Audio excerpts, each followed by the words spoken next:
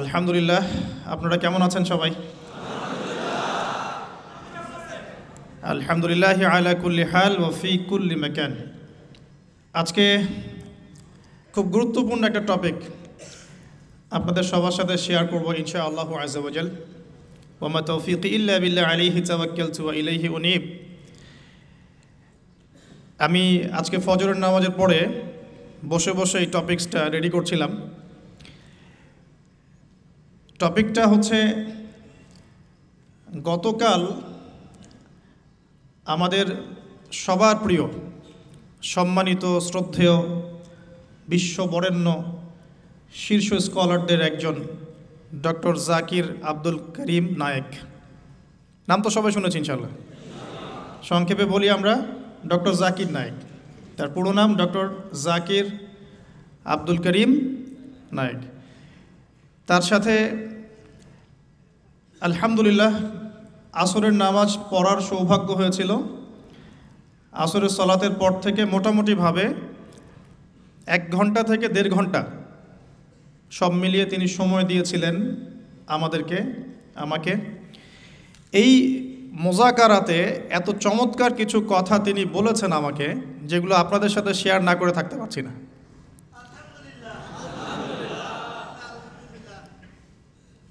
আমি একটা কথা বলি আপনাদেরকে শুরুতে, তারপরে সামনে যাই।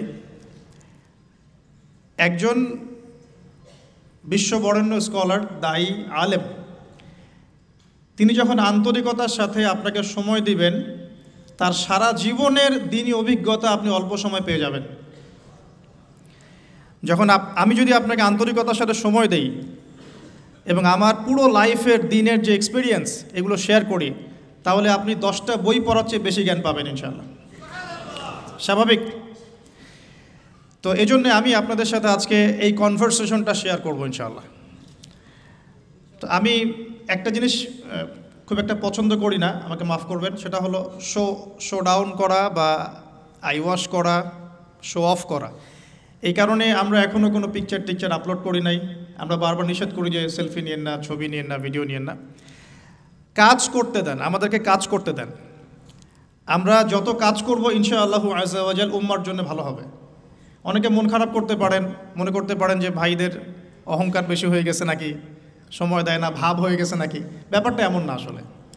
যত বেশি এগুলোর অহেতুক প্রচার হয়, কোনো কারণ ছাড়াই without any reason without any class তখন এগুলোতে ভেতর এবং বাহিরের শত্রুদের চোখ লাগে। ভেতর এবং বাহিরের শত্রুদের চোখ লাগে। এবং কিছু কিছু চোখ লাগে এতই খারাপ যে আপনি তখন দায়ীদেরকে আর মাঠে খুঁজে পাবেন না। আমার কথার ইশারা বুঝে নেবেন যে আপনার সবাই ইন্টেলেকচুয়াল অডিয়েন্স এখানে, আলহামদুলিল্লাহ। তো এই কারণে আমরা শো অফে যাচ্ছি না। কিছু প্র্যাকটিক্যাল কথা বলব ইনশাআল্লাহ।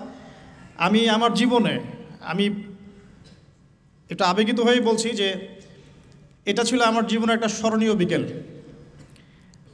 আমি দাওয়ার কাজ শুরু করেছিলাম দুই হাজার দশ সালের থেকে, দুই দশ সাল থেকে আর কি। প্রথম দিকে মাঠে ময়দানে দাওয়াতি কাজ করতাম, পায়ে হেঁটে হেঁটে। তখন এভাবে বিমানেও কেউ নিয়ে আসতো না, মানুষ চিনত না, জানতো না। আপনারা আমাকে চেনেন হয়তো দুই তিন বছর থেকে। এর আগে আমরা গ্রামে, গঞ্জে, চরাঞ্চলে, উত্তরবঙ্গে, এইখানে, ওইখানে বিভিন্ন জায়গায় দাওয়াতি সফর দিয়েছি, আলহামদুলিল্লাহ। তো আমার স্বপ্ন ছিল যে তার সাথে মিট করার। যেহেতু তার থেকে আমি অনেকটাই ইন্সপায়ার্ড হয়েছি দাওয়াতের ক্ষেত্রে। শুধু আমি না, এরকম লক্ষ লক্ষ যুবক আছেন যারা তার লেকচার শুনে হেদায়তের পথে এসেছেন, দাওয়াতের কাজ করেছেন। এরকম মানুষকে যখন কাছে পাওয়া যায়, তখন তো মনের আবেগ ধরে রাখা যায় না। তো আমি আমার ভাঙ্গাচুরা ইংরেজি দিয়ে তাকে অনেক প্রশ্ন করলাম। অনেক বিষয়ে ভিতর থেকে কিছু ইলমি রস বের করার চেষ্টা করলাম। হয়তো একটা জিনিস আমিও জানি, তিনিও জানেন, কিন্তু তার মুখ থেকে শুনলে আর অনেক বেশি জ্ঞান পাওয়া যায়। তো আমি এখান থেকে আজকে সকালে বসে বসে এগুলো পয়েন্ট আউট করে লিখেছি যাতে আমি ভুলে না যাই যে আমি কি শুনেছি তার কাছে। আর আজকের লেকচারটা দিলে এটা অনলাইনে থেকে যাবে। সবার কাছে মেসেজ চলে যাবে ইনশাআল্লাহ যে মৌলিকভাবে তিনি কি কি বিষয় বলতে চান। আমার প্রশ্নের উদ্দেশ্য ছিল একটাই যে বর্তমান সমসাময়িক প্রেক্ষাপটে ইলমি অঙ্গন পলিটিক্স ইকোনমিক্স ধর্মীয় বিভাজন, আমাদের নৈতিক অবক্ষয় সব কিছু বিবেচনা করে কীভাবে আমরা এখন দাওয়াতি কাজটা করব। একজন দায়ীর কী কী কোয়ালিফিকেশন থাকা উচিত? আমাদের কোন কোন জায়গায় বেশি ফোকাস করা উচিত? কোন কোন বই পড়া উচিত? কোন কোন স্কলারকে ফলো করা উচিত? কীভাবে আমরা উম্মাকে এগিয়ে নিব? এরকম কিছু প্রশ্ন ছিল আমার। তো এই সামগ্রিক প্রশ্নগুলোর তিনি কিছু এলোমেলো উত্তর দিয়েছেন, আমি সেগুলোকে সাজিয়েছি আজকে, ইনশাআল্লাহ। আশা করি আপনাদের ভালো লাগবে ইনশাআল্লাহ। তো আল্লাহ নামে শুরু করছে।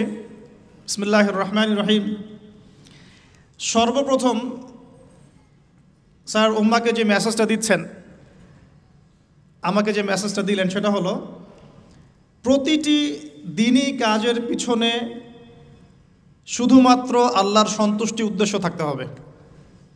এক, প্রত্যেকটা দিনই কাজের পেছনে উদ্দেশ্য থাকবে শুধুমাত্র আল্লাহর সন্তুষ্টি অর্জন করা। তাই আমরা বলতে পারি, তাই আমরা বলতে পারি আমাদের দিনই কাজের যত প্রেক্ষাপট আছে, যত ক্ষেত্র আছে, এর সব কিছুর এখলাস ঠিক থাকতে হবে। আল ইখলাস লিল্লাহ, এটা হচ্ছে সবচেয়ে প্রথম কথা।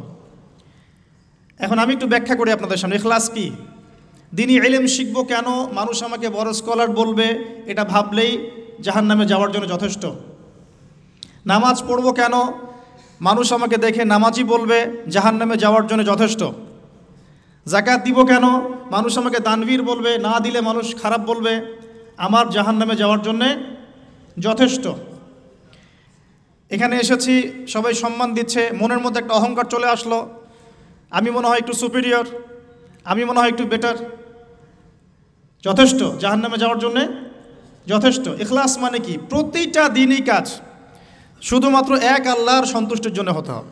আল্লাহ একবার এটাই ইব্রাহিম আলী ইসলামের ওই স্টেটমেন্টের ব্যাখ্যা। কলিন্না সলাতি, বলুন আমার সলাত। ওয়ানুসুকি আমার স্যাক্রিফাইস কোরবানি স্যাক্রিফাইস ওয়া মাহিয়া আমার জীবন, আমার জীবনের সব কাজ। ওয়া মামাতি, আমার মৃত্যু সব কিছু লিল্লাহি রব্বিল আলামিন। একমাত্র জগৎসমূহের রব আল্লাহর জন্য। দ্যাটস অল দ্যাটস অল তো প্রিয় ভাই বোনেরা, যারা লেকচারটা শুনবেন অনলাইন অফলাইনে সর্বপ্রথম নসিহত আজকের। আজকের টপিকটা হচ্ছে অমূল্য কিছু নসিহত ডক্টর জাকির নায়ক স্যারের মুখ থেকে। এটা আমার লেকচার না আজকে, আমি অনুবাদ করছি আর কি। অমূল্য কিছু নসিহত ডক্টর জাকির নায়ক স্যারের মুখ থেকে। আর কনভারসেশন কিন্তু একরকম হয় না। যে ব্যক্তি কোরআনও তেলাওয়াত করতে জানে না, ইসলামের বেসিক কিছুই জানে না, তার সাথে কনভারসেশন একরকম হবে। আর যিনি একজন আলেম, দায়ী, মুহাক্কেক, আলেম, তাদের সাথে কনভারসেশন একরকম হবে। তো সামারিটা এরকম। সর্বপ্রথম যে মূল্যবান নসিহত আজকে আমরা করতে চাচ্ছি, নিজেদেরকে, নিজেদের পরিবারকে, আমাদের মা বোনদেরকে, আমাদের দিনী ভাইদেরকে, উম্মাকে, সেটা হলো প্রতিটা ক্ষেত্রে দিনই কাজের উদ্দেশ্য হবে শুধুমাত্র আল্লাহর সন্তুষ্টি অর্জন। এটার নাম হলো ইখলাস। এর নাম কি ভাই? ইখলাস। আল ইখলাস বিল্লাহ আল ইখলাসুলিল্লাহ এটা সর্বপ্রথম। এটা শুধু দিনই দিনই ক্ষেত্রেই নয়, বরং দুনিয়াবি যে কাজগুলো আমরা করি, যেমন পিতামাতার সেবা করা, চাকরি বাকরি করা, ব্যবসা বাণিজ্য করা, স্ত্রী সন্তানের ভরণ পোষণ, এই কাজগুলোতেও যদি আমরা শুধু আল্লাহর সন্তুষ্টি কামনা করি, তাহলে মানুষের কাছে কখনো কষ্ট পাবো না ইনশাল্লাহ আর যখনই আমরা অন্যের কাছে কিছু আশা করতে যাই, তখনই আমরা কষ্ট পাই। স্ত্রীর জন্য করছেন, প্রবাসে থেকে কষ্ট করে টাকা উপার্জন করে দেশে পাঠাচ্ছেন। এখন আপনার যদি কাজের উদ্দেশ্য থাকে, স্ত্রী আমাকে বেশি ভালোবাসবে ও সিলায় তাহলে কোনো একদিন আপনি তার ব্যবহারে কষ্ট পাবেন। আর যদি এখলাস থাকে এরকম, আমি করছি আল্লাহর জন্যে। বিকজ আল্লাহ আমাকে দায়িত্ব দিয়েছেন, স্ত্রীর মুখে খাবার তুলে দিলেও আমি নেকি পাবো। আমি আল্লাহর সন্তুষ্টির জন্য এই কাজ করছি। এরপরে ভালোবাসা থাকবে, অবশ্যই থাকবে। স্ত্রীর প্রতি থাকবে, সন্তানের প্রতি থাকবে, পিতামাতার প্রতি থাকবে। কিন্তু এখলাস কাজের মূল উদ্দেশ্যটা কি? আল্লাহ পাকে সন্তুষ্টি অর্জন। এই এখলাস থেকে আমরা অনেক সরে আসছি বিধায় ওম্মার আজ কি অবস্থা হয়েছে। বিশ্বাস করেন, আমরা অনেকেই লেকচার দেই মানুষকে সন্তুষ্ট করার জন্য। আমরা অনেকে মসজিদে নামাজ পড়াই, মসজিদ কমিটিকে সন্তুষ্ট করার জন্য। আমরা অনেক সময় তারাবি পড়াই মানুষকে সন্তুষ্ট করার জন্যে। খুদ্া দেই মানুষের মেজাজ বুঝে। কোনটা বললে লোক আমাকে রিসিভ করবে, কোনটা বললে করবে না। নামাজের কথা বলা যাবে ভাই, সুদের কথা বলা যাবে না। খুব সতর্ক। এই যে এগুলো এখলাসের খেলাফ। বই লিখছি, মানুষ আমাকে চিনবে, জানবে। আমারও দু চারটা বই থাক। ইখলাস লেকচার দিচ্ছি, সংগঠন করছেন অ্যাসোসিয়েশন দিনী দাওয়াতি গাছ সাদাকা। ইখলাস মানে আমার প্রতিটা কাজের উদ্দেশ্য একটাই। মানুষ আমাকে ভালো বলুক আর খারাপ বলুক, আমাকে হকটাই বলতে হবে আল্লাহর জন্যে। দিস ইজ কল্ড এখলাস আল্লাহ পাক আমাদের সবাইকে মুখলেসভাবে দিন পালন করার, প্রচার করার তৌফিক দান করুন। এক নাম্বার। দুই, তিনি বলছেন, আমি জিজ্ঞাসা করেছি যে আপনার খুশুসি আমল আমাকে বলুন। এই এই কথাটা আমি অন্য অন্য অনেক আলেমকেই বলেছি জীবনে। যত বড় বড় ওলামে কেরামের সাথে আমার দেখা সাক্ষাৎ হয়েছে, আমি এই প্রশ্নটা করি। কারণ আমি বিশ্বাস করি প্রত্যেকটা মানুষের কিছু খুশুসি আমল থাকে। কেউ রোজা রাখে অনেক বেশি, কেউ নামাজ পড়ে অনেক বেশি, কেউ তেলাওয়াত করে অনেক বেশি, কেউ জিকির করে অনেক বেশি, কেউ পড়াশোনা করে অনেক বেশি। খুশুসি আমল যেটা আল্লাহ রবুল্লা আলমিনের কাছে পৌঁছে যায়, এর ওসিলায় আল্লাহ পাক তাকে মর্যাদা দান করেন। খুশুসি আমল আছে কিন্তু। আমাদের নবী সাল্লাহ আলী আসাল্লামের খুশুসি আমল বলুন দেখি। রাতের তাহাজ্জত সবাই ঘুমিয়ে পড়লে নবী সাল্লাহ আলাইসাল্লাম জেগে থাকতেন, পা মোবারক ফুলে যাইতো। দাঁড়িয়ে থাকতেন দাঁড়িয়ে থাকতেন, লম্বা কেরাতে নামাজ পড়তেন খুশুসি আমল। দাউদ আলী ইসলামের খুশুসি আমল ছিল। রোজা রাখতেন, একদিন পর পর, একদিন পর পর, একদিন পর পর খুশুসি আমল।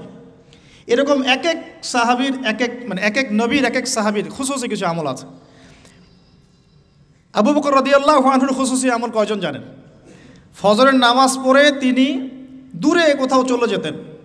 উমর রদিয়াল্লাহ আনহু একদিন ফলো করছেন, যায় কোথায় এই এই মানুষটা? কারণ তাদের মধ্যে একটা কম্পিটিশন হতো, আমলের, মনে আছে? তো কম্পিটিশনটা কোন কোন দিন উমর রদিয়াল্লাহ আনহু বুঝলেন যে আবু বকর রদিয়াল্লাহ আনহু অগ্রগামী, এটাও বলে দেই। তাবুকের যুদ্ধে, কোন যুদ্ধে?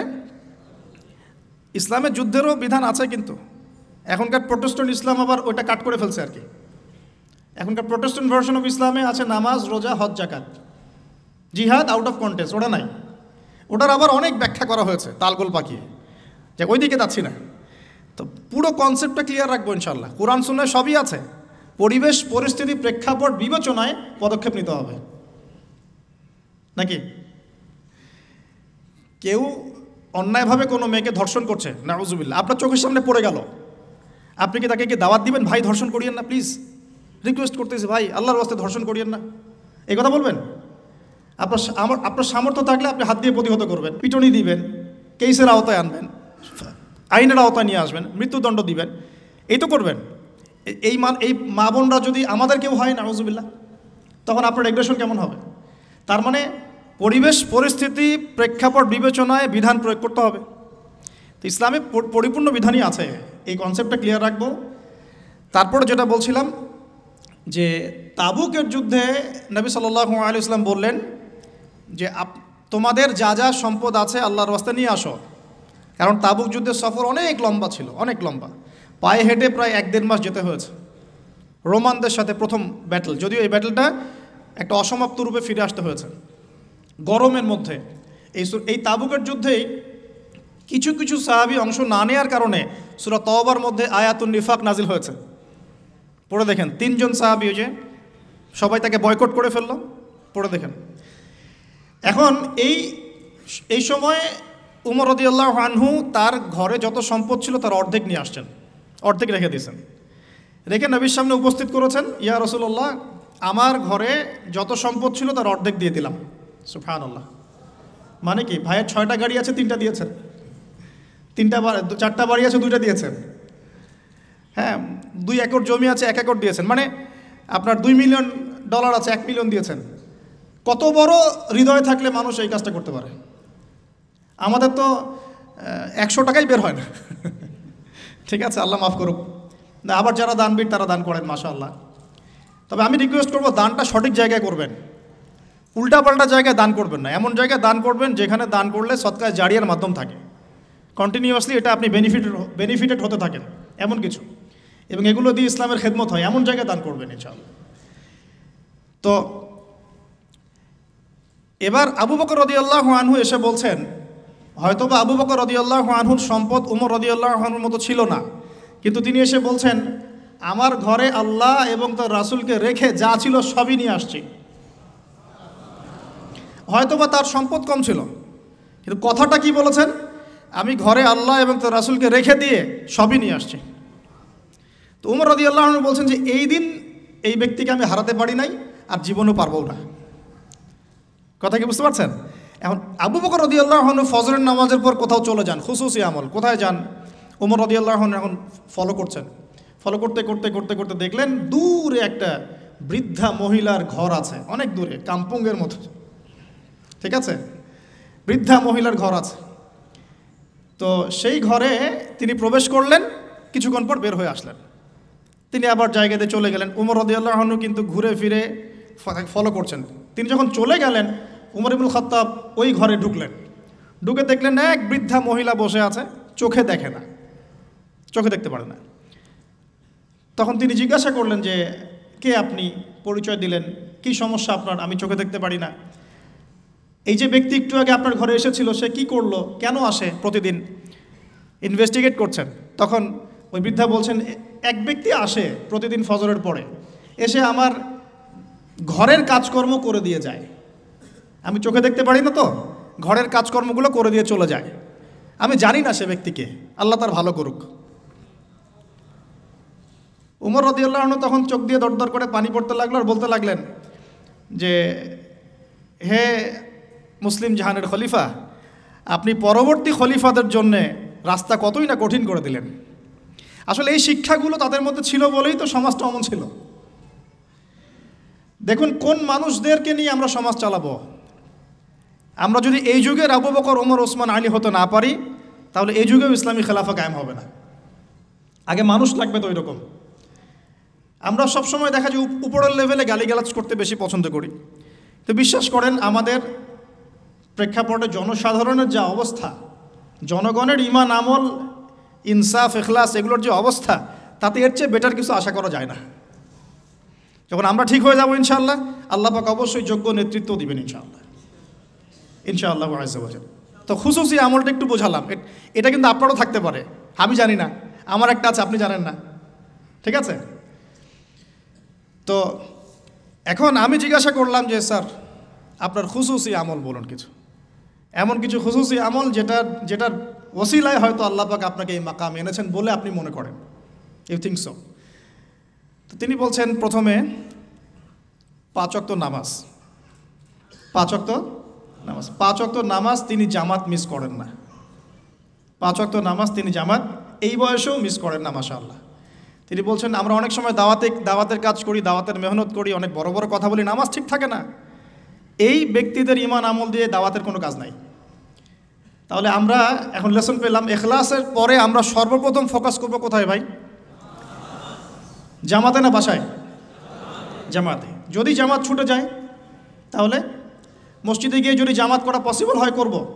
না হলে যদি বাসায় করা পসিবল হয়, সেখানে করব। যদি সফরে থাকি, আপনি মুসাফের, আপনার জন্য অপশন আছে। চাইলে কসর করবেন, চাইলে একাকি পড়বেন, মুসাফির। কিন্তু মুকিম অবস্থায় সর্বোচ্চ চেষ্টা করব জামাত ধরার জন্য। আল্লাহ পাক আমাকে তৌফিক দান করুন। আপনাদের সবাইকে তৌফিক দান করুন। এখানে দুটো কথা আমি অ্যাড করছি আমার পক্ষ থেকে। সেটা হলো যে আমি প্রথম লেকচারে বলেছিলাম যে অনেক মসজিদ দিন দিন বাইতুল্লাহ থেকে বাইতুল নাস হয়ে যাচ্ছে অনেক মসজিদে প্রকৃত নামাজ থাকছে না নামাজের রুকু, সেজদা ঠিক হচ্ছে না এক্ষেত্রে আমরা কি করব। আমরা ইমাম সাহেবদেরকে নসিহা করব এবং বোঝানোর চেষ্টা করব যেন নামাজটা তারা একটু ধীর স্থিরভাবে পড়ায় নামাজের গভীরতায় ঢোকার চেষ্টা করব। কি পড়ছি বোঝার চেষ্টা করব। কি বলছি বোঝার চেষ্টা করব। অর্থ বুঝে নামাজ পড়লে ইনশা আল্লাহ তালা এই নামাজ আল্লাহর আরস পর্যন্ত পৌঁছে যাবে ইনশাআল্লাহ। আর যদি আমরা নামাজের ব্যাপারে গাফেল থাকি এবং নামাজে ফাঁকিবাজি করি, নামাজের আধ্যাত্মিকত্ব আরেফত নষ্ট হয়ে যায়, তাহলে কিন্তু সমস্যা। আমরা যেটা করি, নামাজের ইখতলাফি কিছু মাসআলা নিয়ে বেশি ঝগড়া করি। হাত বাঁধবো কোথায়? আমিন জোরে না আসতে, রফুল ইয়াদাইন করব কি না পায়ে পা লাগাবো কি লাগাবো না সুরাফাতিয়া পড়ব কি না ব্যাস এই তো, আলোচনা তো এতটুকুই। ইখতলাফি মাসালাগুলোকে নিয়ে আমরা কথা বলতে বলতে নামাজের মূল জায়গা থেকে সরে আসছি। মূল জায়গাটা আমি একটু বোঝাচ্ছি আপনাকে। মূল জায়গাটা হচ্ছে নামাজে যে কথাগুলো আমরা আল্লাহর সাথে বলছি সুবাহ আল্লাহর সাথে, এই কথাগুলো আমরা বুঝি কি না এই কথাগুলো বুঝে আমি আল্লাহকে পাচ্ছি কিনা নামাজে। নামাজ মুমিনের মেয়ারাজ, আল্লাহর সাথে সাক্ষাৎ। কখনো কি নামাজ পড়ার পরে এই ফিলিংসটা আসছে কিনা যে আমি আল্লাহর সাথে কথা বললাম সুফান আল্লাহ এখানে পরিশুদ্ধভাবে নামাজ পড়ার জন্যে অবশ্যই নামাজের অর্থ বুঝতে হবে, ধীর স্থিরতা বজায় রাখতে হবে এবং তার তিলের সাথে সময় দিয়ে দিয়ে কাজ করতে হবে। তাড়াহুড়ার কোনো প্রয়োজন নাই। ইনশাআল্লাহ দেখবেন আল্লাহর পক্ষ থেকে আল্লাহ নূর আসবে ইনশাআল্লাহ।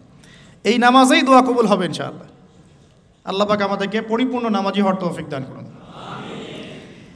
এরপরে তিনি বলেছেন যেটা, সেটা হলো তাহাজ্জুদের সলাতের কথা। কিসের কথা? তাহাজ্জুদের সলাদকে উনি অনেক বেশি গুরুত্ব দেন এবং আমাদেরকে নসিহত করেছেন, আমরা যেন তাহাজ্জুদের নামাজকে গুরুত্ব দিই।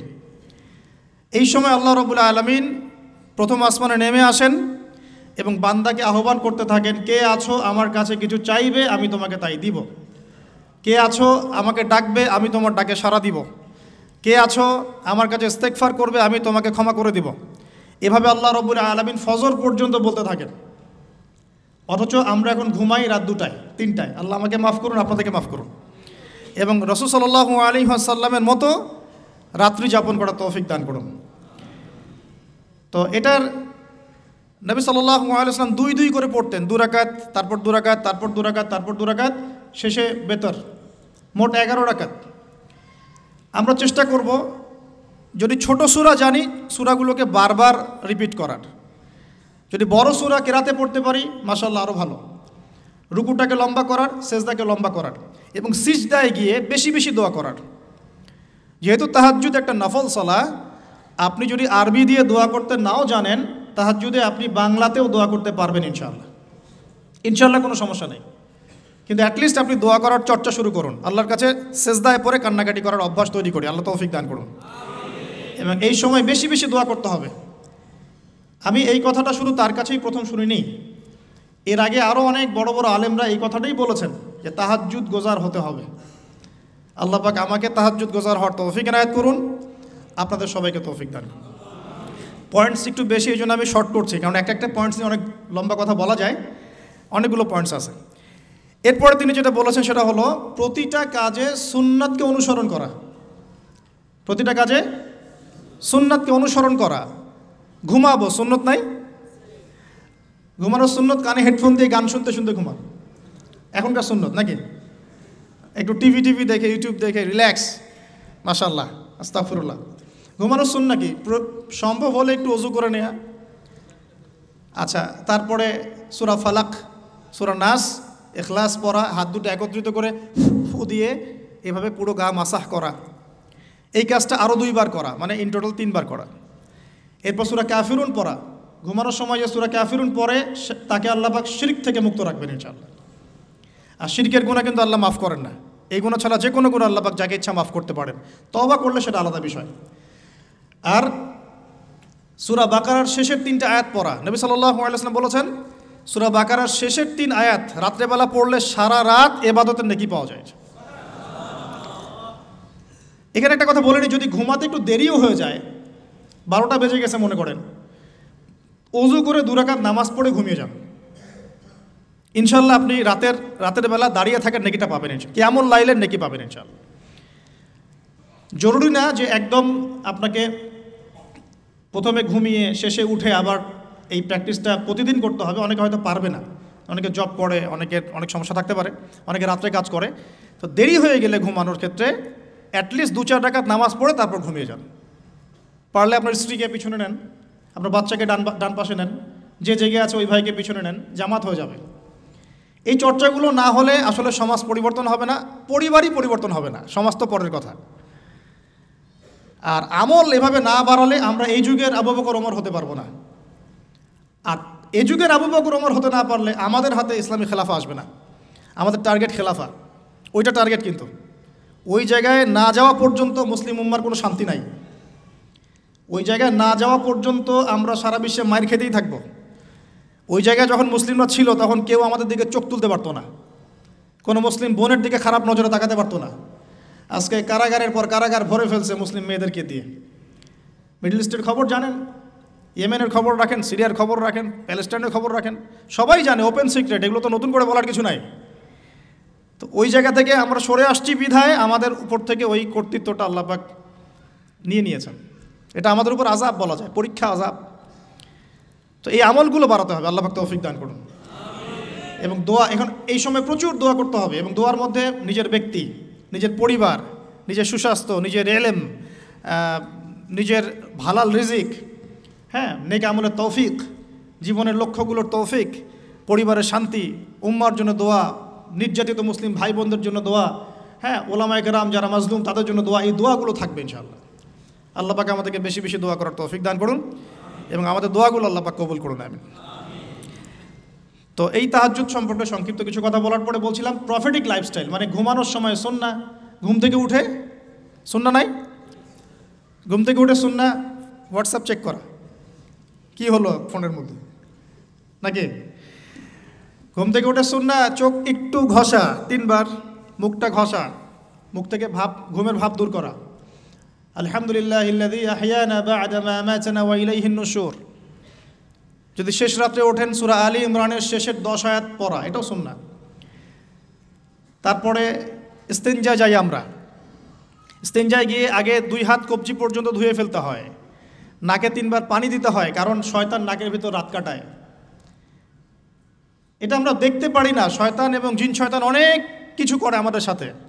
তারা আমাদেরকে বদনজর দেয়, তারা আমাদেরকে দেখে, আমাদেরকে ওয়াসওয়াসা দেয়, অনেক কিছু করে, আমরা বুঝতে পারি না। আল্লাহ পাকের ফেরেশতারা, আল্লাহ পাক যদি ফেরেশতাদের মাধ্যমে এই নিরাপত্তা না দিতেন আমাদেরকে, আমরা, আমাদেরকে জিনরা উড়িয়ে নিয়ে চলে যেত। হ্যাঁ? এর এত দুষ্ট প্র- প্রকৃতির মানব ইয়া, সৃষ্টি, মাখলুক। এর মধ্যে ভালো মন্দ আছে, খারাপদের কথা বলছে। তো ওয়াশরুমে যখন ঢুকছেন, ওখানেও কিন্তু শয়তান আছে। শয়তান রাত কাটায় আমাদের দুই পায়ের মাঝখানে এবং নাকের দুই গহ্বরের মাঝখানে। এই জন্যে ঘুম থেকে উঠে তিনবার নাকে পানি দিতে হয়। আর আগে হাত ধুয়ে নিতে হয়। তারপরে বাথরুমে ঢোকার সময় আমরা ডান পা ইউজ করব না, আগে বাম পা। বের হওয়ার সময় ডান পা। দোয়া বিসমিল্লা আল্লাহ আউজুবিকা মিনাল খুবসি খাবাইজ এখনকার টয়লেট যেগুলো হচ্ছে মানে যা চলছে আর কি ইংলিশ এখানে নবী সাল্লাহ আলী আসাল্লামের মতো বসা সম্ভব না। আমি আপনাদেরকে একশো পার্সেন্ট গ্যারান্টি দিয়ে বলছি, এটা আমার ইস্তেহার কেউ আমার সাথে একমত হতে পারে, নাও হতে পারে। ইয়াজুজ আর মাজুজের যত খাসলত আছে না চরিত্র, এই সব চরিত্র পশ্চিমা বিশ্বের মধ্যে আছে। এটা আমার ফাইনাল স্টেটমেন্ট। ইয়াজুজ আর মাজুজের চরিত্র, আমি বলিনি যে এরাই এরাই তারা তা বলি নাই।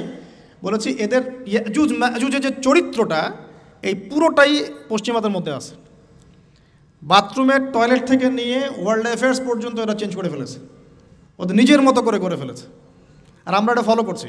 নবী সাল্লাহ আলী হাসাল্লাম বসতেন বাম পায়ে ভর দিয়ে ডান পা খাড়া করে। যে কোনো আলেমদেরকে জিজ্ঞাসা করবেন, হাদিসে কিতাব মোতালা করবেন। বাম পায়ে ভর দিয়ে ডান পাটা একটু উঁচু করে। এইভাবে যারা বসে তাদের মানে টয়লেটটা খুব ক্লিয়ার হয়। খুব সুন্দর সুন্দর মতো হয়ে যায়। এখন আপনি কীভাবে ইংলিশ টয়লেটে বসবেন? এভাবে আমাকে বলেন। উঠে বসতে গেলে তো ব্রেক শেষ, আপনি নিজেই ভিতরে তখন। তো আবার কিছু কিছু দেখলাম যে বোল রেখে দেওয়া হয়েছে। দাঁড়ায় দাঁড়ায় করতে হবে। এক নাম্বার লাগলে দাঁড়া দাঁড়ায় করতে হবে। আর সবগুলো সেম মাপ। আর মানুষ কেউ লম্বা, কেউ খাটো। আর কারও যদি সেম না হয়, তাহলে কি করবে? এটা একটা বিষয়। তো আল্লাহ মাফ করুক। দেখেন, প্রতিটা জায়গাতেই শূন্যতের খেলাফ কাজ হচ্ছে। আর এখানে কীভাবে, আমি তো মাঝে মাঝে এগুলো ইউজ করতে বাধ্য হই আর মনে মনে গাল দিই, গালি দিই ওদেরকে। মনে মনে গালি দিই গাইরুল গাইরুল মকদুবি আলাইহিম ওয়ালাদ্দাল্লিন গাইরুল মকদুবি আলাইহিম ওয়ালাদ্দাল্লিন মকদুব আর দলিন সব জায়গায় ফেতনা সৃষ্টি করে দিয়েছে। এগুলোতে যে পরিমাণ পানি অপচয় হয়, আপনি শাওয়ার নিচ্ছেন, ছেড়ে দিলেন, বালতির পর বালতি পানি চলে যাচ্ছে শাওয়ার নিতে। নবী সাল্লাহ পাত্রের মধ্যে পানি নিয়ে শাওয়ার নিতেন। পানির অপচয় হতো না। ইভেন আমরা এখন অজু করি, আমরা নিজেরাও তো করে ফেলি। ছেড়ে দিলাম, অজু করতেই আসি করতেই আসি করতেই আসি এক বালটি পানিতে অজু করে ফেলছি। সব জায়গায় সমস্যা হচ্ছে। সো সুন্না লাইফস্টাইল মানে কি? প্রতিটা সুন্না আমাকে ধরতে হবে তো বুঝতে হবে। আল্লাহ পাক আমাদেরকে তৌফিক দান করুন। তো দেখেন ওয়াশরুম নিয়ে আর কি আর বলব? এটা তো এখন আপনি অ্যাভয়েডও করতে পারবেন না।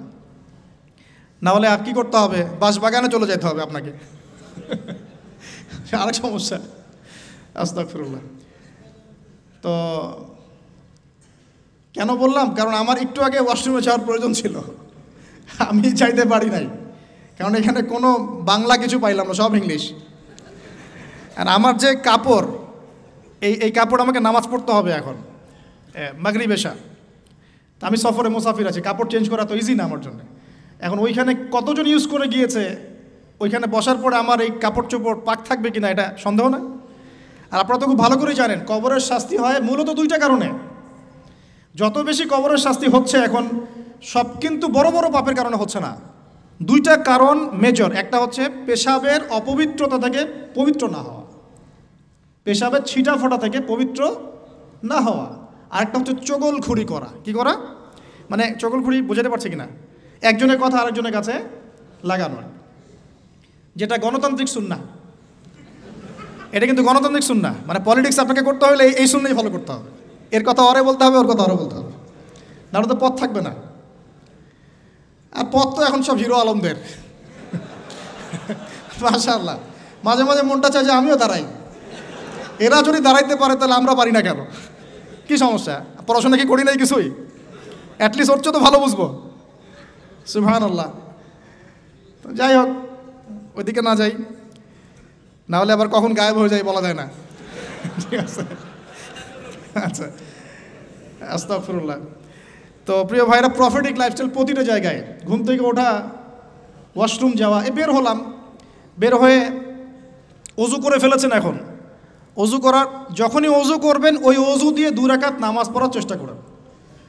নবীজি যখন জান্নাতে মেরাজের রাতে জান্নাতে গিয়েছেন নবীজি সাল্লু আলী বলেছেন, আমি যখনই জান্নাত গিয়েছি মানে আমাকে যখনই জান্নাত দেখানো হয়, তখনই আমি বেলাল তোমার পায়ের শব্দ শুনতে পারি। সুফান আল্লাহ হে বেলাল, তুমি কি এমন আমল করো আমার আগে আগে তোমার পায়ের শব্দ শুনতে পারি? তো বেলাল নদী আল্লাহ বলছেন, ইয়া রসল্লাহ আমি তো, আপনি যে আমল শিখিয়ে দিয়েছেন, এগুলাই করি এক্সট্রা তো কিছু করি না। শুধু একটা কাজ আমি করি। কি সেটা? তিনি বলছেন, আমি যখনই অজু ছুটে যায়, অজু করি। মানে যখনই ইস্তেঞ্জা করি, অজু ছুটে যায়, অজু করার চেষ্টা করি, ওই অজু দিয়ে আমি দু দুরাকাত তাহিয়াতুল অজু নামাজ পড়ি। নবীজি বলছেন, হয়তো এই কারণেই তোমার এই মর্তবা দেওয়া হয়েছে। সুফান আল্লাহ আল্লাহ পাকে আমাদেরকে আমল করার তৌফিক দান করুন। এরপর সলাতে যাবেন, সলাদটা নবীর মতো করে। সলাদ শেষ, একটু কোরআন তেলাওয়াত করলেন, দিনই পড়াশোনা করলেন, কোনো স্কলারের লেকচার শুনলেন, এবার নাস্তা করতে আসছেন নাস্তার টেবিলে আসলে তো আর সুন্নতের খেলাফ, সুন্নতের কোনো কথাই মনে থাকে না। আর আমি আপনাদের কমিউনিটির মধ্যে এসে দেখলাম সবাই খুব ভোজন রসিক মাসাল্লাহ হ্যাঁ মাসাল্লাহ ভালো, খারাপ না, একটা এজ থাকে খাওয়ার। তবে খাওয়ার ক্ষেত্রে এই দুটো হাদিস মাথায় রাখবেন। এক, নবী সাল্লাহ বলেছেন, একজন মুমিন মান্দার এতটুকু খাওয়ার যথেষ্ট, যা দিয়ে সে কোমর সোজা করে আল্লাহর ইবাদত করতে পারে। আর এই পুরো ওয়ার্ল্ডটাই এখন এই কয়েকটা জিনিসের উপর টিকে আছে। খাওয়া ফ্রি সেক্সুয়াল সম্পর্ক, জুলুম পলিটিক্যাল জুলুম। খাবে ওপেন সেক্স করবে, মদপান করবে হ্যাঁ পরকালে কনসেপ্ট ভুলে এই দুনিয়ার জীবনে যা যা পাওয়া যায়, মদ ক্যাসিনো জুয়া, খাওয়া, নারী আর মুসলিমদেরকে মারোয়ার কাটো। মানে শয়তানি একটা শাসন শুরু হয়েছে। তো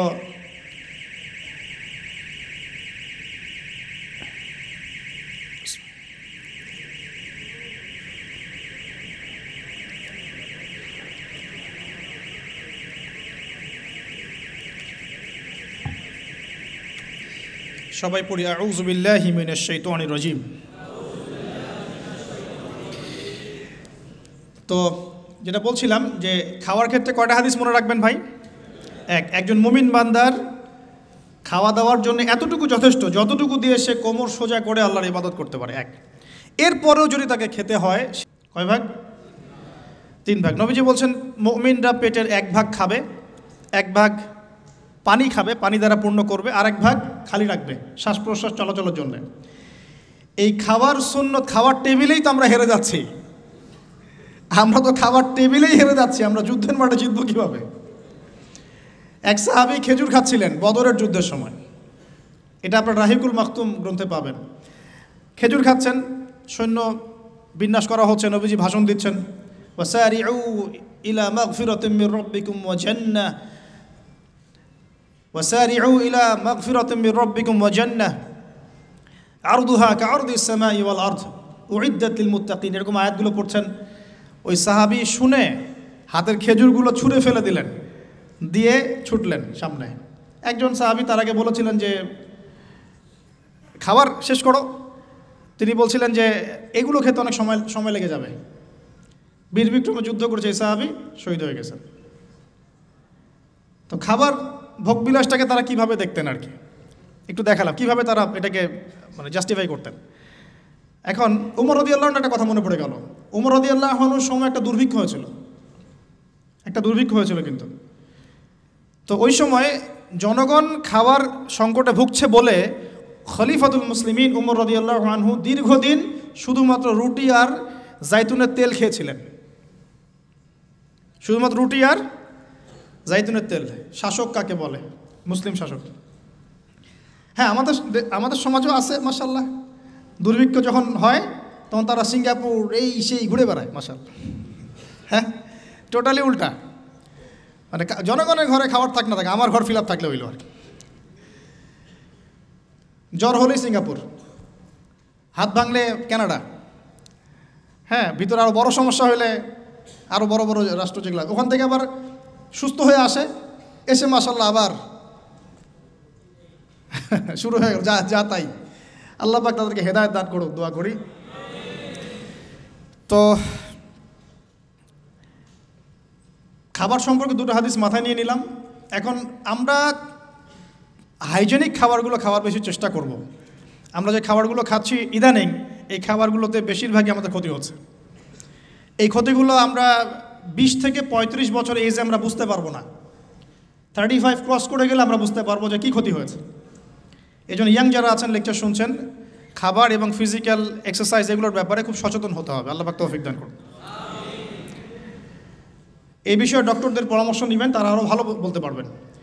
তো প্রফিটিক লাইফস্টাইল মানেই আমার ঘুম, আমার ইস্তেঞ্জা, আমার ওজু আমার নামাজ, আমার খাওয়া, আমার পড়াশোনা, ইবাদত, কোরআন তেলাওয়াত জিগির আজগার ইভেন আপনার জব সেকশন আপনার এডুকেশন সেকশন পলিটিক্যাল সেকশন সব কিছুকে নবী সাল আলী হাসালামের সুন্না মতো ঢেলে সাজানো। এটার কথা তিনি বারবার বলছেন।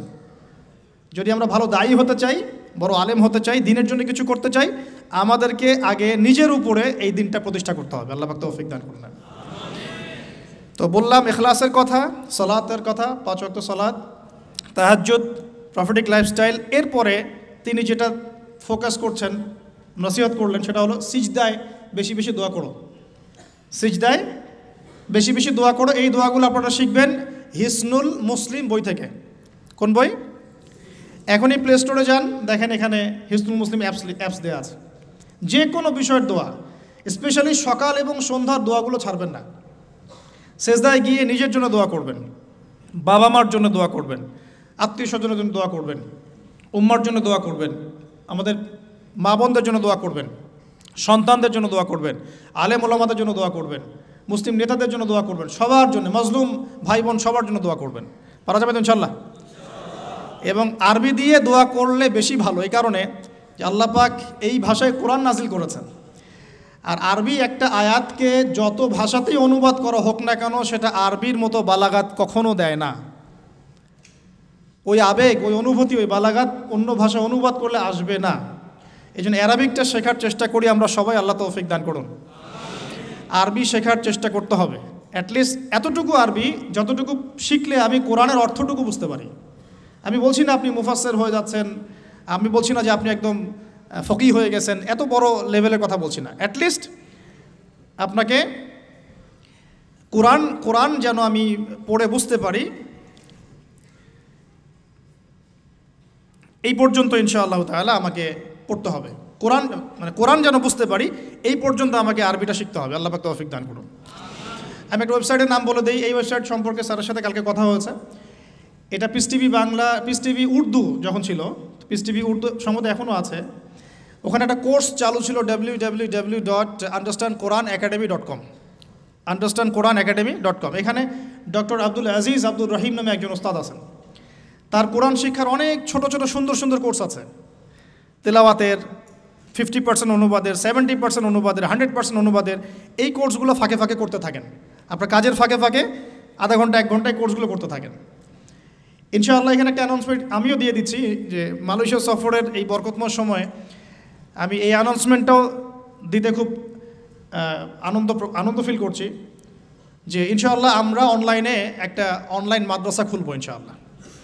ইসলামিক অনলাইন মাদ্রাসার মতো একটা অনলাইন মাদ্রাসা খুলো। নাম ফিক্স করেছি আমরা এভাবে। তহা জিন্নুরাইন ইসলামিক অনলাইন মাদ্রাসা। এখানে আমরা জেনারেল শিক্ষিত ভাই বোনদের জন্যে কোর্সের পর কোর্স লঞ্চ করব, ইনশাআল্লাহ তাহলে প্রথমে কোরআন শিক্ষার কোর্স আরবি ভাষা শিক্ষার কোর্স আরবি ব্যাকরণ শিক্ষার কোর্স কোরআনের অনুবাদ শিক্ষার কোর্স হাদিস, একশো হাদিস শিখুন, ইসলামের ইতিহাসের উপর কোর্স ইসলামিক ইকোনমিক্সের উপর কোর্স এভাবে গ্র্যাজুয়ালি আস্তে আস্তে আস্তে আস্তে level one two three four করতে করতে আমরা ছয়টা লেভেল পর্যন্ত চিন্তা করেছি। ছয় লেভেল পর্যন্ত যাওয়ার পরে ইনশাল্লাহ আপনি একজন দায়ী, একজন মধ্যম মানের আলেম মানে আমি তো বলছি বড় আলেম, আমি আপনাকে বানাতে পারব না। মধ্যম মানের আলেম, দায়ী, দিনের বুঝওয়ালা মানুষ, এই লেভেল পর্যন্ত আপনার জ্ঞান পৌঁছে যাবে ইনশাআল্লাহ আজাল। আর এখানে শুধু আমি আমি নিজেই ইনভলভ তা নয়, আমি শুধু ক্লাস নিব এমন নয়, মহিলাদের জন্য মহিলা টিচার থাকবেন। আমি ছাড়া আরও অনেক বরেণ্য ওলামা কেরাম এখানে ক্লাস নেবেন ইনশাআল্লাহ। আল্লাহবাক আপনাদের সবাইকে সেই কোর্সগুলো এনরোল করা তৌফিক দান করুন। আমিন। তো এই জিনিসগুলো শেখা উচিত, দোয়াগুলো বেশি বেশি সেজদায় করবেন। সেজদায় যদি আপনি আরবিতে দোয়া করতে না জানেন, সেক্ষেত্রে নফল সলাতে আপনি বাংলায় দোয়া করতে পারবেন ইনশাআল্লাহ। এটা নিয়ে অনেকের মধ্যে একটা কনফিউশন আছে। আজকে কনফিউশন ক্লিয়ার করলাম। ফরজ নামাজে বাংলা ভাষা ইউজ করবেন না। নফল সলাতে আপনি সেজদায় যদি আরবি না জানেন, বাংলাতে মনের ভাষায় দোয়া করতে পারেন, ইনশাআল্লাহ তাহলে কোনো সমস্যা নেই। আল্লাহ কবুল করার মালিক। কবুলের মালিক কে? আল্লাহ। পাক সব ভাষার মালিক। ভাষা সব সৃষ্টি করেছেন কে? আল্লাহ আচ্ছা একটু গুটিয়ে নিতে হবে আমাকে বিকজ আমার ফ্লাইট আছে আজকে। তো আমি আরও যে পয়েন্টসগুলো নিয়েছি, তার মধ্যে কয়টা বলেছি? পাঁচটা। ছয় নম্বর পয়েন্ট হচ্ছে মুজাহেদা। তিনি বলেছেন এই আয়াত থেকে, ওয়াল্লাযীনা জাহাদু ফিনা লানাহদিয়ান্নাহুম আনকাবুতের শেষের দিকে আছে, আল্লাহ পাক বলেছেন, যারা আমার পথে প্রচেষ্টা চালায়, যারা আমার দিনের পথে চেষ্টা করে প্রচেষ্টা চালায়, আমি আল্লাহ তাদেরকে হেদায়ত দান করি সুফান আমি আল্লাহ তাদেরকে পথ দেখাই। একটু পরিবেশ বজায় রাখেন প্লিজ ওয়াল্লাদিনা জাহাদু ফিনা লানাহদিয়ান্নাহুম সুবুলানা যারা আমার জন্য, আমার দিনের জন্য, আমার পথে প্রচেষ্টা চালাবে স্ট্রাইভ করবে, আমি আল্লাহ তাদেরকে পথ দেখাবো ইনশাআল্লাহ। তা আমি জিজ্ঞাসা করেছিলাম যে কীভাবে আপনার মতো হতে পারি? তো তিনি বললেন এক কথার এক ফাঁকে যে, মুজাহাদা মুজাহাদা, খুব বেশি প্রচেষ্টা। এই বয়সেও বোঝেন খুব বেশি প্রচেষ্টা। মানে এখলাস ঠিক রেখে, নামাজ কালাম ঠিক রেখে তাহাজুদ ঠিক রেখে, দোয়া কালাম ঠিক রেখে খুব বেশি প্রচেষ্টা চালাতে হবে। গঠনমূলকভাবে প্রচেষ্টা চালালে যে ফলাফল পাওয়া যায়, আজকের এই মাহফিলে তো তার প্রমাণ। আপনারা কি এটা সাকসেস করার জন্য চেষ্টা করেন নাই? কষ্ট করেছেন, শ্রম দিয়েছেন, অর্থ দিয়েছেন ভলেন্টিয়ার ক্রিয়েট করেছেন, আজকে মাসাল্লাহ এত সুন্দর একটা পরিবেশ। এভাবে সারা দুনিয়াতে দিন প্রতিষ্ঠা করা সম্ভব হবে ইনশাআল্লাহ। যদি আমরা সবাই যার যার জায়গা থেকে প্রচেষ্টাটা সর্বোচ্চ রাখি এবং ঐক্যবদ্ধ হওয়ার চেষ্টা করি। আমাদের মধ্যে বারবার এক কথাই বলছি আমি, অনেক মত পার্থক্য থাকতে পারে, কিন্তু তারপরেও আমরা ঐক্যবদ্ধ থাকব ইনশাআল্লাহ সবার মতামতকে সম্মান করব। মাঝহাবি ফিকটাকে সম্মান করব। ওই ভাই শাফি মাঝহাব মানে আমি হানাফি ফিক ফলো করি, কোনো সমস্যা নাই ওই ভাই হানাফি মাঝহাব মানে ওই ভাই হাম্বলি মাঝহাব মানে কোনো সমস্যা নাই অ্যাটলিস্ট একজন ইমামকে তো সে ফলো করছে তারপরে আমরা সবাই ভাই ভাই হয়ে থাকব ইনশাআল্লাহ এখতলাফ থাকতে পারে, তার মতকে সম্মান করব, আমার মতকে সে সম্মান করবে। এই মানসিকতা তৈরি করতে হবে। আল্লাহ পাক তৌফিক এনায়ত করুন। এরপরে মুজাহাদার কথা বলতে গিয়ে তিনি বলছেন, মুজাহাদার সময়, এই চেষ্টা প্রচেষ্টার সময় খুব করে আল্লাহর উপর তাওয়াক্কুল রাখতে হবে। আল্লাহর প্রতি পূর্ণ ভরসা রাখতে হবে, ইব্রাহিম আলী ইসলামের মতো। হাসবি আল্লাহ আমল ওয়াকিল। কোনো সমস্যা নেই, আল্লাহ আমার সাথে আছেন, তিনি আমাকে পথ দেখাবে ইনশাআল্লাহ। মুসা আল ইসলামের মতো, কেল্লা ইন্না রব্বি মা ইয়া সাইয়াহদিন তার বাহিনী বলছে মানে বনু ইসরাইল বলছে, পিছনে ফেরাউনের বাহিনীর সামনে লোহিত সাগর। ইন্না লামুদ্রাকুন, আমরা ধরা পড়ে গেলাম। তখন মুসা আলী ইসলাম বলছেন কেল্লা কখনো নয়। ওই রকম সিচুয়েশনে তিনি বলছেন কেল্লা কখনো নয়। ইন্না রব্বি মা ইয়া সাইয়াহদিন, আমার রব আমার সাথে আছেন, তিনি আমাকে পথ দেখাবেন ইনশাআল্লাহ। সেম কথা বলেছেন আমাদের প্রিয় নবী হজরত মোহাম্মদ সাল্লাহ আলী আসাল্লাম গারে শহরে আবু বকর সিদ্দিক বলছেন, উপর থেকে তারা আমাদেরকে দেখে ফেলবে। তিনি বলছেন, না, লা তাহজান, তুমি দুশ্চিন্তা করো না। ইন্নাল্লাহ মা'ানা আল্লাহ আমাদের সাথে আছে। এই তাওয়াক্কুল, আল্লাহর প্রতি এই পূর্ণ তাওয়াক্কুল যার থাকবে, ইন্নাল্লাহ ইউহিব্বুল মুতাওয়াক্কিলিন। আল্লাহ পাক এই তাওয়াক্কুলকারীদেরকে আল্লাহ পাক ভালো রাখেন। ফাল ইয়াতাওয়াক্কালিল মুতাওয়াক্কিলুন, আল্লাহর প্রতি ভরসাকারীরা যেন আল্লাহর প্রতি ভরসা রাখেন আমরা সবাই আল্লাহর প্রতি পূর্ণ আস্থা রাখব, ইনশাআল্লাহ। সব ঠিক হয়ে যাবে, ইনশাআল্লাহ। শুধু আমাদেরকে আমাদের ইমান আমল, আকিদা আমাদের মুজাহাদা ইউনিটি এই জায়গাগুলো ঠিক করতে হবে। পারব না ইনশাল্লাহ আল্লাহ পাক আপনাদের সবাইকে কবুল করুন আমিন। এরপর তিনি বলেছেন দলীয় সাম্প্রদায়িকতা পরিহার করতে। এটা কেমন? ওই যে ধর্মীয় কিছু বিভাজন আছে। একবার এক দলে ঢুকে গেছেন অন্য ভাইকে আর ভাই মনে হয় না। সালাম দেওয়ার সময় খুঁজে খুঁজে সালাম দেয় যে ও আমার গ্রুপের কিনা। অন্য গ্রুপের হলে সালাম দেয় না। এই ন্যারো মাইন্ডেড মানসিকতা ত্যাগ করতে বলেছেন। আমরা সবাই মুসলিম, তিনি বলছেন, ওয়ামান আহ বারবার এই একটা বলেন, আপনারা তো শোনেন ওয়ামান আহসানু কাউলাম মিম্মান দাআ ইলাল্লাহ ওয়া আমিলা সালিহান ওয়া ক্বালা ইন্নানি মিনাল মুসলিমিন। ওই ব্যক্তির চেয়ে শ্রেষ্ঠ আর ভালো কে আছে? আহসান কে আছে? যে ব্যক্তি বলে, যে যে ব্যক্তি মানুষকে আল্লাহর দিকে আহ্বান করে এবং নিজে আমল করে আর বলে, আমি মুসলিমদের একজন, আমি মুসলিমদের একজন। নবী সাল্লাহ আলী হাসাল্লাম এই পরিচয় নিয়েই দাওয়াতি কাজ করেছেন। আমরা মুসলিম, এটা আমাদের মৌলিক পরিচয়। এরপরে আপনার কোনো যৌগিক পরিচয় থাকতে পারে, কিন্তু ওই পরিচয়কে কেন্দ্র করে আমরা আমাদের মধ্যে ডিভাইডেশন করব না, ক্রিয়েট করব না ইনশাআল্লাহ।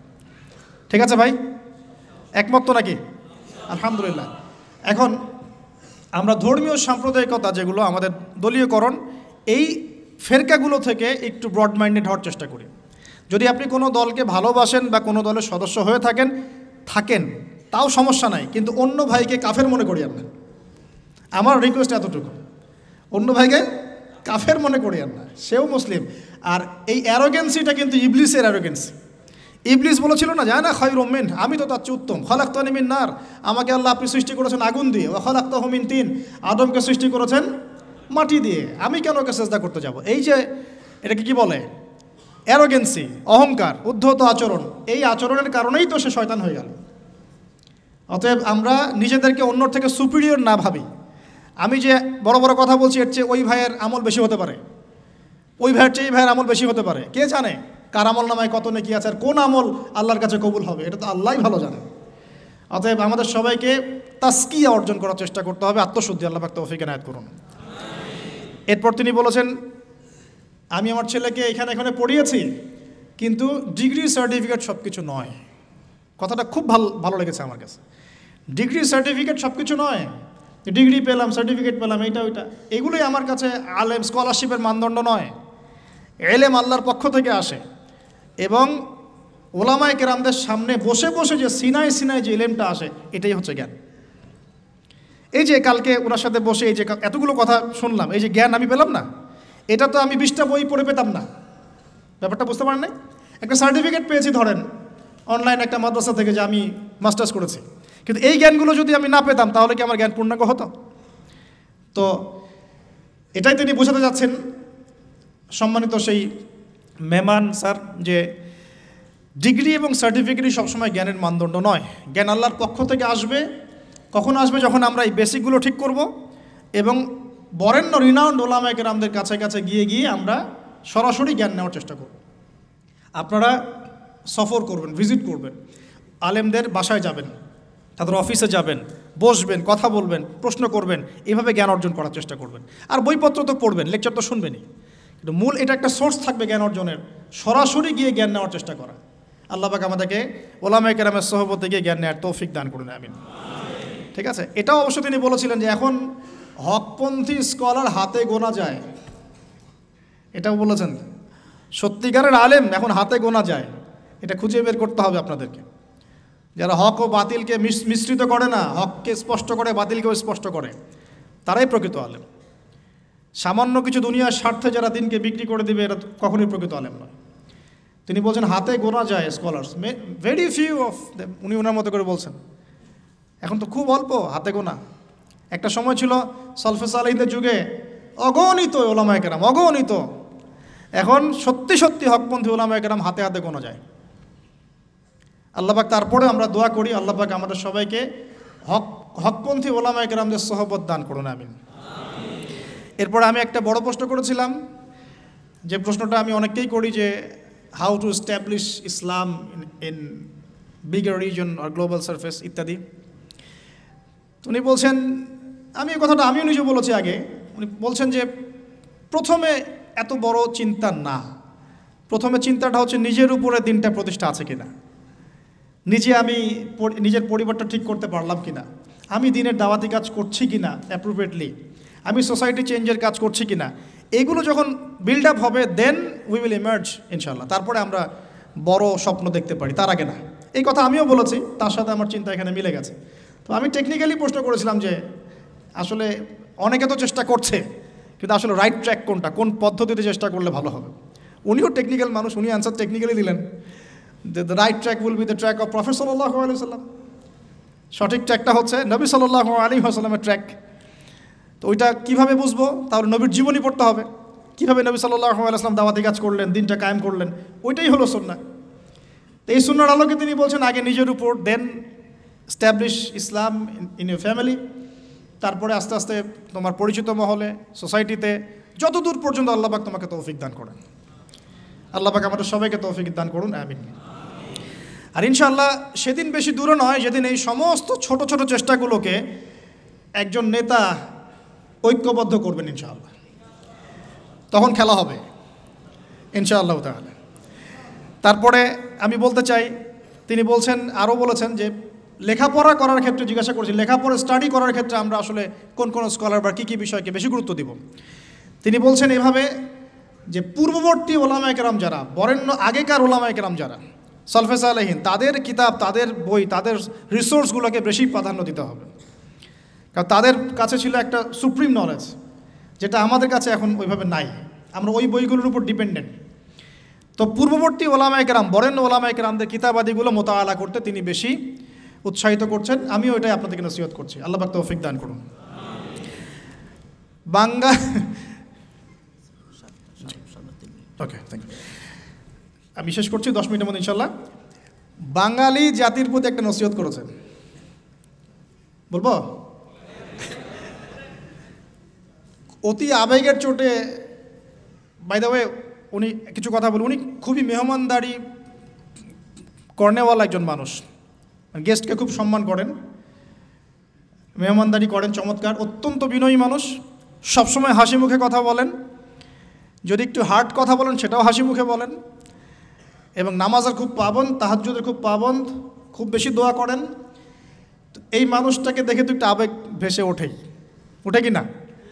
তো চলে যাওয়ার সময় আমাকে একটা হাদিয়া দিয়েছেন। খুবই স্পেশাল একটা আতর। আমি বলি যে আমার আমার বাসায় কিন্তু প্রচুর আতরের কালেকশন আছে। ওইটা দিয়ে যে কাউকে ফরজ গোসল দেওয়া যাবে।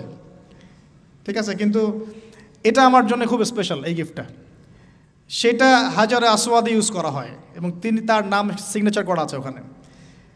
তো, তা আমি বললাম যে, স্যার, আরেকটা জিনিস যদি কিছু মনে না করেন তাহলে নিতে চাই। বলো, তো বললেন যে, বললাম যে, স্যার, আপনার টুপিটা দেওয়া যাবে?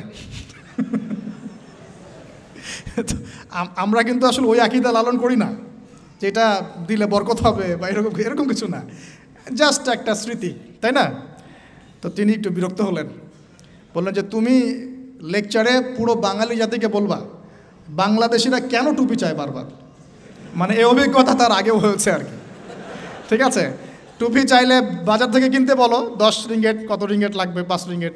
Cheap very cheap you can buy বলছে। তো বলছে, তুমি উল্টা বাঙালিদেরকে বলবা, তারা যেন টুপি টুপি না চায়। ঠিক আছে? তো ভাই, আপনারা আল্লাহর ওয়াস্তে আর টুপি টুপি চায়েন না। আমার কাছে অনেকে চাইছে। ভাই টুপিটা, আমার ওই একটাই টুপি, যে ব্ল্যাক টুপিটা, ওটা একটাই। ওটা আসলে কিন্তু তার সেকেন্ড কপি নাই, ওটা আমার একটাই।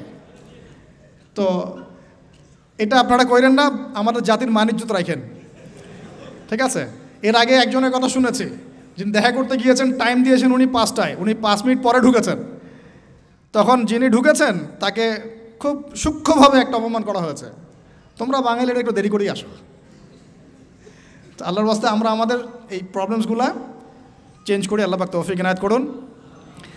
আর সবশেষ তিনি বললেন যে, আমার পরিবারের মহিলারাও দাওয়াতি কাজ করে মাশাল্লাহ তা আমরা আমাদের দিনী বোনদেরকে এখানে যারা আছেন, উৎসাহিত করব যে আপনারা আপনাদের পরিবারের অনেক বড় দায়িত্বশীল। এবং সত্যি কথা বলতে, মা যদি ভালো হয়, সন্তান ভালো হবে চল এখন আমাদের প্রত্যেক পরিবারের পিতাকে হতে হবে ইব্রাহিমের মতো। আলিহিসাল্লাম প্রত্যেক পরিবারের সন্তানরা হবে ইসমাইলের মতো আলিহিসাল্লাম এবং আমাদের মা বোনদেরকে হতে হবে হাজারা এবং সারা আলিহিম আসসালামের মতো। যদি হাজারা আলিহাসালামের মতো মা না হয় পরিবারে, তাহলে ইসমাইলের মতো সন্তান জন্ম হবে না। তিনি ফুল ফ্যামিলি দাওয়াতি কাজ করেন। আমরাও আমাদের ফুল ফ্যামিলি মেম্বারদেরকে নিয়ে দাওয়াতি কাজ করার চেষ্টা করব। আল্লাহ পাক তৌফিক করুন। আমিন। আর তিনি বলেছেন যে আমরা এখন খুব রেস্ট রেস্ট প্রিয় জাতি হয়ে যাচ্ছি। আমাদের নামাজের সময়, ঘুমের সময় থেকে বেশি হওয়া উচিত।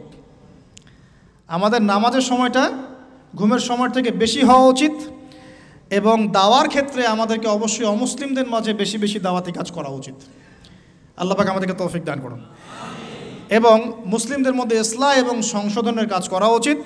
সবসময় দলিল প্রমাণ ভিত্তিক দাওয়াতি কাজ করা উচিত এবং যে কথার প্রেক্ষিতে কোনো দলিল পাওয়া যাবে না, সেটাকে দেয়ালে ছুঁড়ে ফেলে দেওয়া উচিত। এছাড়া আরও অনেক গল্প হয়েছে, সেগুলো আমি পাবলিকলি আর আলোচনা করছি না। আমরা এই সংক্ষিপ্ত সময়ের মধ্যে অনেক বিষয় উঠে আসলো সর্বপ্রথম যে বিষয়টা আমরা ফোকাস করব, আল্লাহ পাকের জন্যে আমরা আমাদের দুনিয়া এবং আখরাতে সব কাজ করব ইনশাআল্লাহ। প্রতিটা কাজের এখলাস ঠিক করব ইনশাআল্লাহ। এরপরে আমরা সবাই পাঁচ অক্ত নামাজি হয়ে যাব ইনশাআল্লাহ। নামাজের ব্যাপারে খুব কঠোর থাকার চেষ্টা করব ইনশাআল্লাহ। প্রতিটা কাজ সুন্না মাফিক করার চেষ্টা করব ইনশাআল্লাহ তাআলা।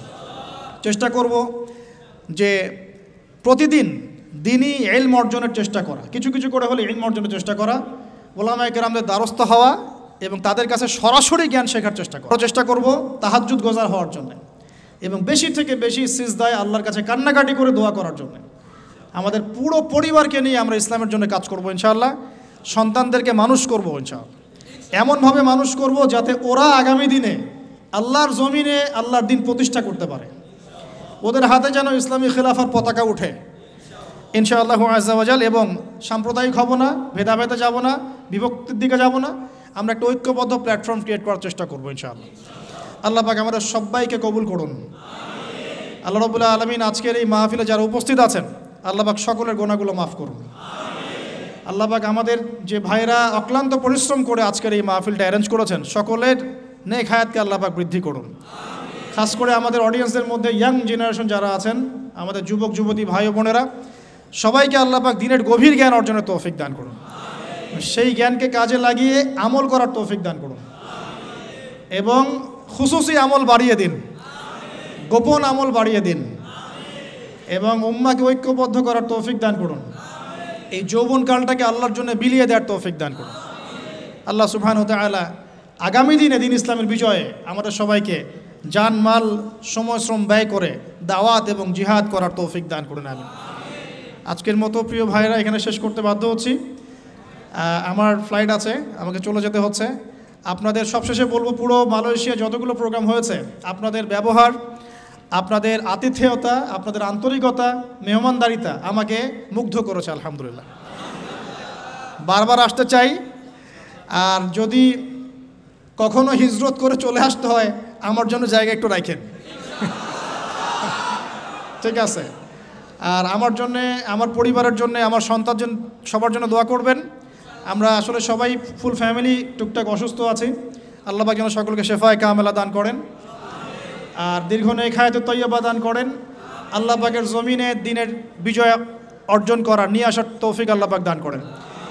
এবং আমরা যে জায়গায় থাকি সেটা একটা ব্যাটল ফিল্ড সেখানে যেন আমরা ইমান আমল নিয়ে টিকে থাকতে পারি, সেই দোয়া আমাদের জন্য করবেন ইনশাআল্লাহ। সুবহানাক আল্লাহুম্মা বিহামদিক, আশহাদু আল্লা ইলাহা ইল্লা আনতা, আস্তাগফিরুকা ওয়া আতুবু ইলাইক। আসসালামু আলাইকুম ওয়া রাহমাতুল্লাহি ওয়া বারাকাতুহু। বারাকাল্লাহু ফিকুম, হাইয়াকুমুল্লাহ।